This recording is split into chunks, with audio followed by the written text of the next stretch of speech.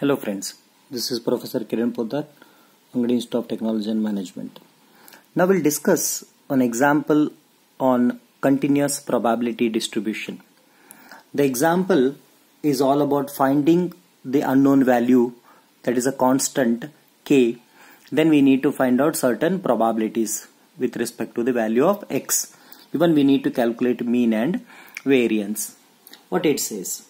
Find the constant k such that f of x is equal to kx square where x lies between 0 to 3. It will be 0 otherwise. Otherwise means what? We need to understand this first. Suppose if we take this is x, x line, this is y line. So 100% x is equal to 0 here and this side it will move up till infinity and this side it will move up till minus infinity. So if I take here 1, 2, 3. Okay. So what he said, if the value of x lies between 0 to 3, there the functional value will be k into x square. k into x square. If it crosses the boundary of uh, border of 3, then the functional value becomes 0.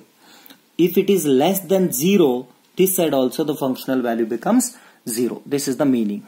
Okay? Then we'll calculate the further things. Very first to say it is a discrete probability function discrete density function it must satisfy two conditions. One is f of x must be greater than or equal to 0 f of x must be greater than or equal to 0 when it is possible. It is possible only when the value of k is greater than or equal to 0. So assume that the k value will be more than or equal to 0. Then second condition. What second condition? First condition is satisfied. Okay, second condition must be minus infinity to plus infinity. f of x dx must be equal to 1. Let us see whether it is true or not and if it is true then what value of k we are going to get. Integration of f of x dx between minus infinity to plus infinity. Again, as I said, the things will be distributed between, integration will be between minus infinity to plus infinity basically. Then in this, we need to get only the value between 0 to 3 where my functional value is survived. That is k into x square. Other than that, it will be 0. Therefore, if I take it directly, then integration lies only between 0 to 3 where the functional value is k into x square with respect to x is equal to 1 fine. Then let us take k common. Then integration of x square is x cube by 3 between 0 to 3 is equal to 1 therefore it is k divided by 3 into x cube. Substitute upper and lower limits. Since if you substitute upper limit it becomes 3 cube minus 0 equal to 1 therefore this is equal to if you take it out then uh, 3 and 3 uh, and 3 get cancelled it becomes 3 square. That is nothing but 9k is equal to 1 if 9k is equal to 1 therefore k is equal to 1 by 9 so we got a value of k. And if k is equal to 1 by 9 then the given function will come like this. It will be something like this. See here k into x square k is 1 by 9 so it becomes x square by 9 if the value of x lies between 0 to 3 other than this again as usual the functional value will be 0 okay? Now let us calculate remaining things. We got k no problem. Then first we need to calculate the probability of this. So probability of 1 less than x less than 2 to be calculated. Since we know how this probability will be considered, how this probability will be considered in terms of integration because overall continuous integration lies between minus infinity to plus infinity f of x dx. Fine. But how this will be connected into the term of probability p of x, how it will be taken. Means for example, if it is between minus infinity to plus infinity, how it will be written? This is nothing but probability of x lies between minus infinity to plus infinity. This is the notation. Fine. If probability of 1 is less than x is less than 2, we need to write. Then how we need to write? This is nothing but probability from 1 to 2 into f of x dx. Fine. Therefore, we can write the probability either from probability to function integral or integral to probability. Similarly, probability of 1 less than x less than 2 can be written as integration between 1 to 2 f of x dx. Fine. This is equal to integration from 1 to 2 f of x. What is f of x here? Between 1 to 2. Check it out. My x value is between 1 to 2 and that 1 to 2 lies between this boundary of 0 and 3 means again my x is between 0 to 3 only. Then this is the function. Fine. Therefore this is x square by 9 with respect to x. 1 by 9 is taken out. Then integration of x square is x cube by 3 between 1 to 2 if you substitute upper and lower limit then we will be getting 9 3s are 27 take it out. Then upper limit is 2 so 2 cube is 8 minus lower limit is 1 1 cube is 1 therefore this is 7 divided by 27 this is the value of probability of 1 less than x less than 2 next second one. Second is uh, probability of x less than or equal to 1 less than or equal to 1 means one end is fixed that is 1 it may be equal to 1 or it may be the boundary for that. Other value is not fixed. But we know that in this case it is very clear that boundary is fixed that is 0 and 3 means our numbers cannot move away from these two boundaries that is 0 and 3 therefore minimum it will be 0 upper value is already given that is 1 f of x dx is equal to integration from 0 to 1 function is x square by 9 with respect to x. As usual 1 by 9 is taken out then integration of x square is x cube by 3 between 0 to 1 if you substitute upper and lower limit 1 by 27 upper limit is 1 then 1 cube is 1 minus lower limit is 0 therefore it is 1 divided by 27 that is the value of probability of x less than or equal to 1 next. Third. Probability of x greater than 1 greater than 1 means what 1 is a limitation minimum value.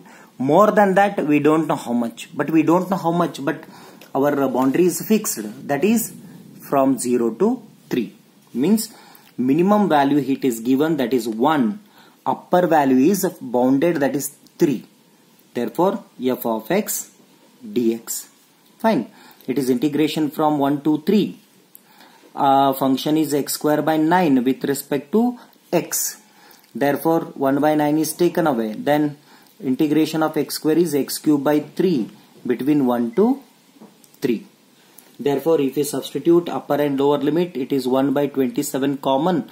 Upper limit is 3 cube. 3 cube is 27 minus lower limit is 1. 1 cube is 1. Therefore, it is 26 divided by 27. So, 26 by 27 is a value of probability of x greater than 1. Next comes mean. Mean. Mean mu is equal to. What is the formula of mean mu?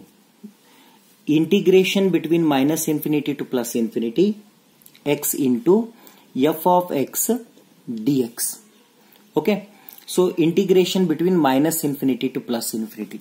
But our example instead of uh, lying it between minus infinity plus infinity it has its own boundary that is 0 to 3 therefore our integration will be between 0 to 3 next x into f of x What is the value for f of x? That is x square by 9 after calculating the value of k. So it is x square by 9 with respect to x. So which is nothing but 1 by 9 will take it out. Then it is integration from 0 to 3. x square into x is x cube with respect to x. Therefore 1 by 9 into integration of x cube is x raised to 4 by 4 between 0 to 3. Then it is uh, 1 divided by 9 4 are 36 into upper limit if you substitute then it becomes x raised to uh, sorry 3 raised to 4 3 raised to 4 divide uh, minus 0 okay?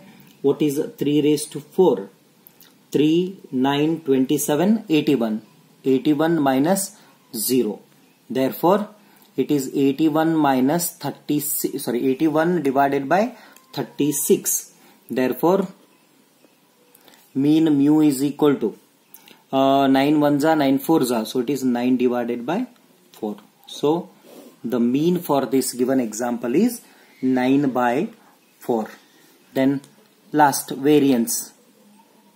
Variance. Variance v is equal to. What is the formula for variance? Minus infinity to plus infinity. I have shown you two alternate formulas are there. One is x minus mu square into f of x but if you take x minus mu square into f of x then x value are between 0 to 3 it is very difficult to take. Because of that we'll go to alternate formula. What is that alternate formula? X square into f of x minus x square into f of x dx minus mu square. Fine. So limitation is between 0 to 3 x square into f of x. What is f of x? X square by 9 minus mu. Mu is 9 by 4 the square. It will be differentiated with respect to x. Therefore variance v is equal to uh, integration from 0 to 3 okay integration from 0 to 3 now x square into x square is x raised to 4 divided by 9 with respect to x minus 9 by 4 the square means it is 81 by 60 fine so this is equal to if you integrate this with respect to x then it becomes x raised to 5 divided by 9 into 5 that is 45 between 0 to 3 minus 81 by 16 therefore v is equal to uh, 1 divided by 45 I'll take it as a common term for this.